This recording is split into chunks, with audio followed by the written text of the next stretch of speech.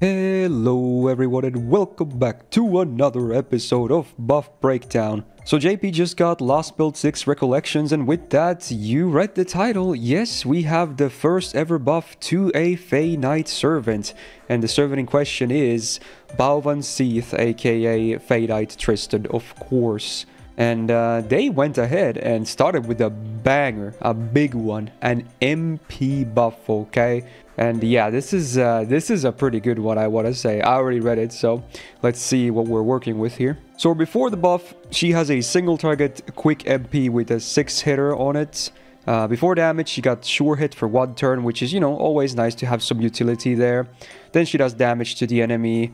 Uh, and then after damage, she applied a 1000 damage curse for 5 turns and also a 5 turn curse amplifier scaling with overcharge uh, with a base 200% increase all the way up to 400%.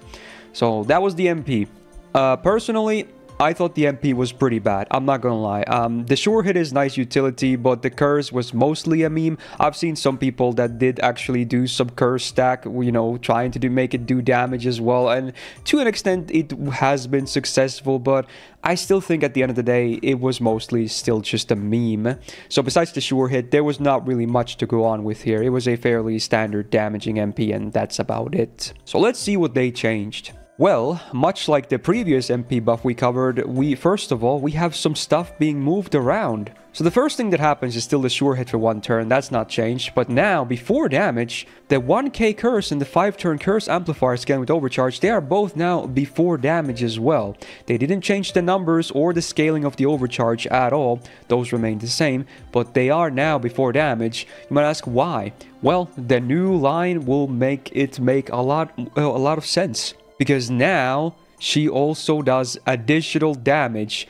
10% super effective per curse on the target scaling up to maximum of 10 stacks aka a potential 100% super effective on the enemy. And of course then you have the standard damage upgrade for the mp with the buff. Ooh Is that spice or what? Okay, okay. So obviously the way this works is that every normal curse that does damage, like this one, the 1k one for 5 turns, is a 10% super effective uh, damage modifier onto the MP. Uh, the I'm pretty sure the amplifier itself does not affect this, okay? This is just there for the curse damage itself still, so let's not jump the gun. It's not like she immediately gets 20%. She gets 10% from this on the first MP. And again, it, it really is the first MP because now this is before damage, which is great. They could have honestly just left that as is and it still would have been a fairly substantial upgrade. But now that it's also before damage, that's that's great. I wish they would do more of this and hopefully they will now since there's like two in a row now for MP buffs. I really want to see like order of operations being improved and this is a, another real amazing example of it. Now, obviously, if you spam the MP, the more you spam, the more you get these curses. There are five turns each, so the uptime will be good, of course. So getting more and more damage will not be an issue. That's awesome. But then in addition to the MP also obviously applying curse, you can experiment with stuff like uh, command codes. I believe curse command codes are probably the most common ones too if I'm not mistaken. Curse or burn, probably. I think the least amount we have is poison. So yeah, there's definitely no shortage of curse uh, CCs. In fact, I'm pretty sure if you wanted to, you could probably equip her entire deck with curse command codes. And with this, you might honestly go with that. I'm not even joking. It might beat all the other damage slash utility you could have on her. Because remember, every curse is 10% super effective on the MP, which is quite nice. Scaling all the way up to 100% with 10 stacks. Other things you can do is include other servants that provide curses like um, Douman, for instance.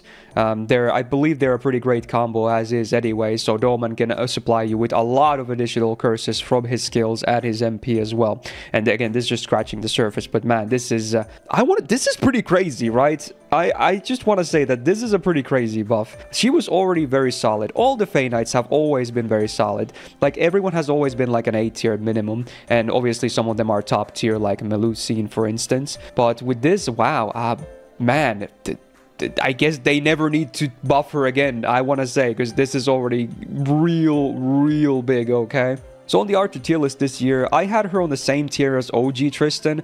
I kind of personally still uh, preferred OG Tristan a little bit over her just because he had that MP buff already that kind of gave him more damage potential. But with this, well, honestly, I want to say it's not even close anymore. Not only will she have more damage now, she even has that super effective bonus potential. So I was thinking maybe A plus at first, but dude, I think we have our first ever uh, top tier uh, four star for archers. Yeah. I, I, I don't think this is jumping the gun.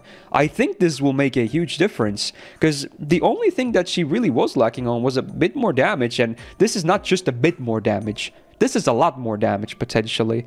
So I'm I'm definitely all about it. I, I almost want to say this is was a perfect buff. I don't think they need to ever buff her again. I think she's really stellar now. So there you go wow, Fae Knight buffs are no joke when they happen, which, you know, this is the first time, I guess, so uh, the sample data is not huge, but just wow, okay. So there you go, wow, Fae Knight Tristan Baobhan Sith has been buffed, and I want to say she is now top tier, very, very strong. So if you enjoyed this episode of Buff Breakdown, do be a solid and click the thumbs up button on this video. It really helps out, of course. And do subscribe not to miss out on future ones, because again, whenever there's new buffs, ya boy will always be here immediately covering them for you, of course.